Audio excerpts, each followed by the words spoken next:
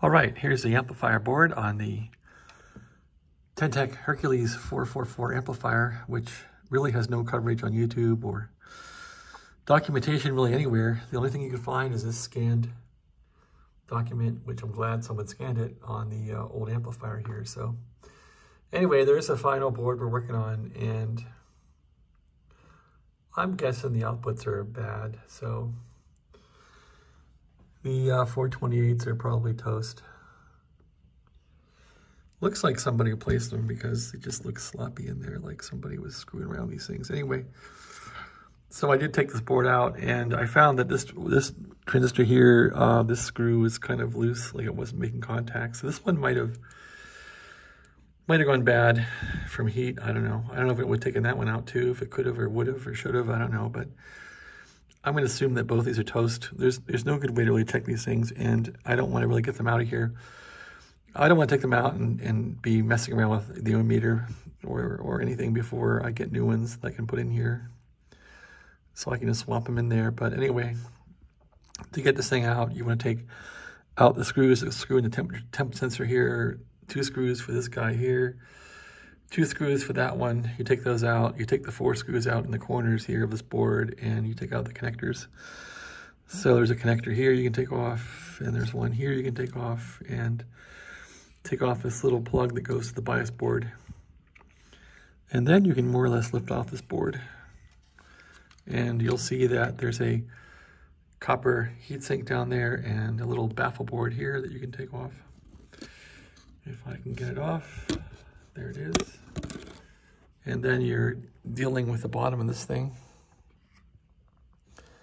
and the uh, transistor. So now the trick is getting these uh, MRF uh, 428s or whatever these are before and not paying RF parts in San Diego 250 bucks for two of these. There's a place in Italy that has them for 50 bucks. Hard to say if they're legitimate. It's hard to say if RF parts is legitimate. RF parts probably is, but I don't know. To pay 200 bucks for this thing for a couple of transistors is kind of crazy, right? So I think RF parts is ripping us off and taking advantage of it. Being in San Diego, it's not surprising as a lot of business people are there that make a lot of money doing various things. Anyway, there's the board.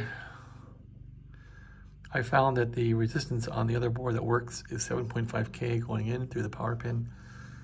So the power pin there, power pin goes through here. Power comes in, it lands here, it lands here. Goes through um, those blue toroids. So I, I couldn't find anything that really would give these less resistance except that the devices themselves are probably blown up. So I guess I'll replace those and see how it goes. Okay, so that covers that. The other thing that was uh, interesting was I found the other, I found this board didn't have any torque on this transistor. The uh, screws were loose. So I wonder if I flip this over and investigate the other board if the screws are loose. Let's see what they're doing. I guess I could pull the other board and renew the uh, silicon, the uh, bond, the uh, paste, the silicon paste. I may end up doing that. Yeah, these, um, were these replaced? I don't know. I'm going to try and see if these are tight. I guess you shouldn't over tighten these or tighten them unequally. I don't know. Let's see if this is loose. Nope, that's good and tight.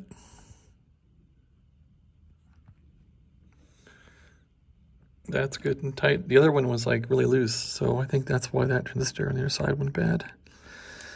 It wasn't tightened down very well. Which makes me think that somebody was fiddling with it, right? That's tight and almost, well, I need a better screwdriver. And this side is what? Loose, tight? It's tight. So those are all tight.